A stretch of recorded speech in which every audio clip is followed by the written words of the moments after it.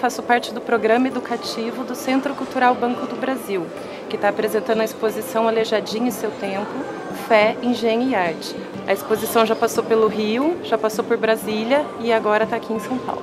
O Centro Cultural Banco do Brasil fica aqui no centro de São Paulo, a primeira agência do Banco do Brasil aqui na cidade. O Aleijadinho é um dos artistas mais importantes para o Brasil. Ele nasceu em Minas Gerais, em Ouro Preto. É o artista mais expoente em termos de barroco mineiro. O que o curador faz aqui nessa exposição, o Fábio Magalhães, é mostrar não só o Aleijadinho, mas também o tempo e a cidade na qual o artista se desenvolveu e cresceu. A exposição aqui está dividida em cinco andares. No subsolo, dentro do cofre, tem o ouro. Então são moedas da época que viveu Aleijadinho, o mesmo ouro da Inconfidência Mineira. Em volta do cofre, tem-se alguns mapas para mostrar como era feito o registro dessa região. No térreo seria o andar da procissão. Então tem aqui embaixo o tapete, que foi feito por pessoas de ouro preto mesmo. Tem também algumas réplicas em bronze dos profetas do Aleijadinho.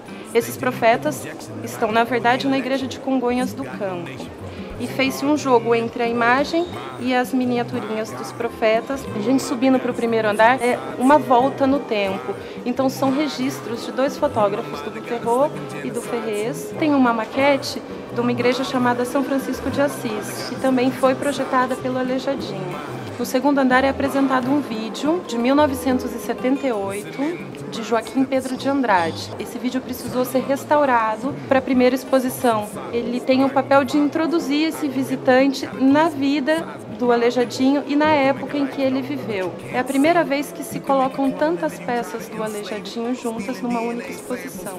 Para dar uma ideia também desse tempo no qual o Aleijadinho está inserido, o terceiro andar traz artistas contemporâneos do Aleijadinho. Então tem alguns anônimos, tem o Xavier de Brito, tem o, Servas e o Mestre Piranga. São contemporâneos ao Aleijadinho. O visitante pode fazer a visita sozinho ou com a gente do programa educativo.